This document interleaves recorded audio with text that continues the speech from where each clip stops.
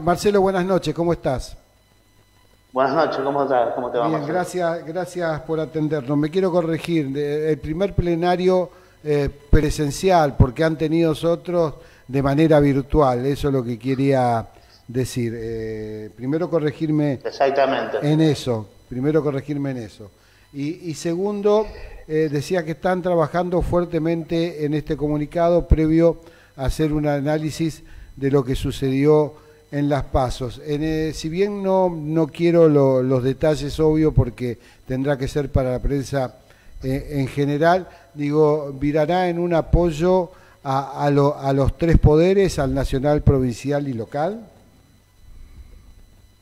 Sí, nosotros entendemos que eh, las expresiones eh, y los candidatos que están enrolados dentro del peronismo son los que de alguna manera hoy nos están garantizando el respeto por los derechos alcanzados y la defensa de nuestros intereses, fundamentalmente a partir de conocer algunas de las propuestas que se vienen planteando desde el lado de la oposición, donde claramente se pretende avanzar sobre derechos eh, de los trabajadores, como por ejemplo el proyecto presentado en dirección a este, eliminar eh, las indemnizaciones por despido en la relación laboral, solo como ejemplo, digo, por lo cual sí, seguramente el documento va a expresar este, este alineamiento con, con el peronismo y este, en los tres niveles de gobierno, tanto nacional como provincial y, local.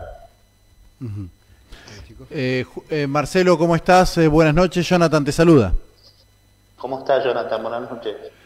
Marcelo, hace algunas semanas atrás estuvo el secretariado general de, lo charlábamos aquí en el programa, ¿no? Estuvo el secretariado nacional de, Luz y Fuerza, la semana pasada estuvo Sergio Aladio, también aquí secretario ah, del gremio de, de camioneros.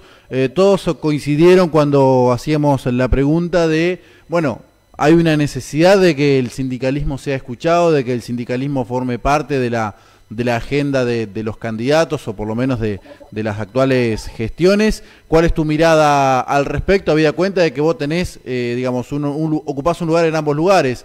Sos referente del sindicalismo, pero a la vez también formás parte de, de una administración, como en este caso la de la ciudad de Rafaela. Sí, yo en primer lugar agradezco al espacio político en el cual estoy cumpliendo funciones como la CGT, el hecho de poder desempeñarme este, como representante de esta CGT.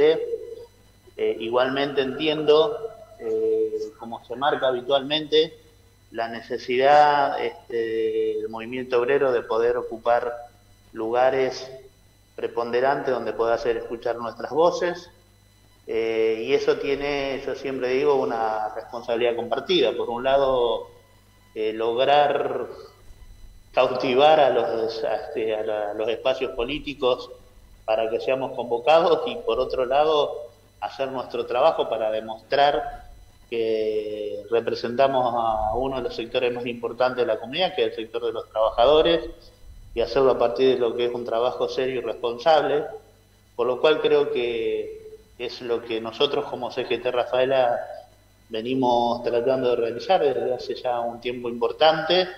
Creo que eso dio sus primeros frutos a partir de poder empezar a integrar algunos, algunos cargos políticos, pero siempre decimos que la participación política de la representación de los trabajadores no está limitada a cargos, sino a la participación de decisiones y de, de lineamientos de políticas que vayan en favor de los trabajadores, por lo cual cuando hablamos de participación no nos queremos limitar solamente a, ocupar un cargo, sino a formar parte de distintas mesas de diálogo y de diseño de políticas en las que justamente los intereses de los trabajadores estén contemplados. Marcelo, eh, ¿cómo, se logra eso? Estaba pensando mientras, eh, mientras hablabas, digo, ¿cómo se logra eso? Porque hoy el secretario general tiene que salir a convencer a sus delegados que sus delegados convenzan eh, a sus trabajadores que para ellos este es el mejor proyecto cuando realmente hoy eh, sus sueldos o su situación económica eh, no es de las mejores. ¿Cómo, ¿Cómo se logra esto? ¿Cómo, cómo, logra, ¿Cómo creen que pueden llegar a, lograr eh, convencer a los trabajadores que tienen que, apoyar este modelo? Eh, primero, claro está que es una tarea muy difícil, Marcelo, esto nadie lo puede negar.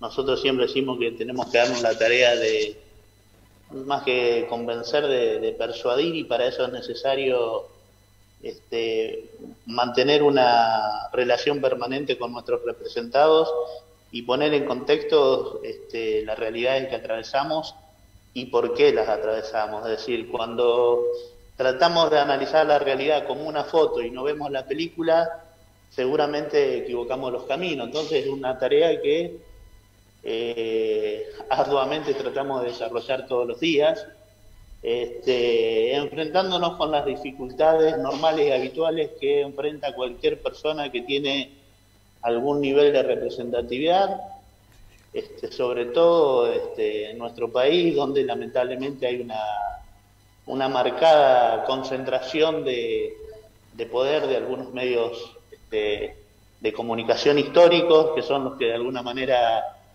eh, marcan la agenda del país, y por lo cual nosotros tenemos que estar atentos a eso, poder eh, primero ser creíble a través del desarrollo de nuestra actividad, en lo cotidiano y segundo en esa en esa construcción de credibilidad poder transmitirle a nuestros representados lo que nosotros entendemos que es el camino para la consolidación de un mejor presente y un mejor futuro para, para los trabajadores. Claro está, claro está, Marcelo, vos lo marcás, que no es una tarea sencilla, pero eh, casi que te diría que es el ABC de nuestras obligaciones y responsabilidades, por lo cual no podemos dejar de intentarlo y es una lucha que llevamos a cabo cotidianamente, ¿no? Marcelo, no te queremos robar más tiempo, sabemos que están en plena sesión, te agradecemos estos minutos y bueno, estaremos atentos y al aguardo para el día miércoles, es que van a citar a los medios para dar a conocer este comunicado. Estamos tratando de trabajar para que así sea, exactamente. Bueno, muchísimas gracias y saludo a todos los secretarios generales que están allí presentes. Bueno, muchas gracias Marcelo. Gracias por acompañarnos. Hasta luego.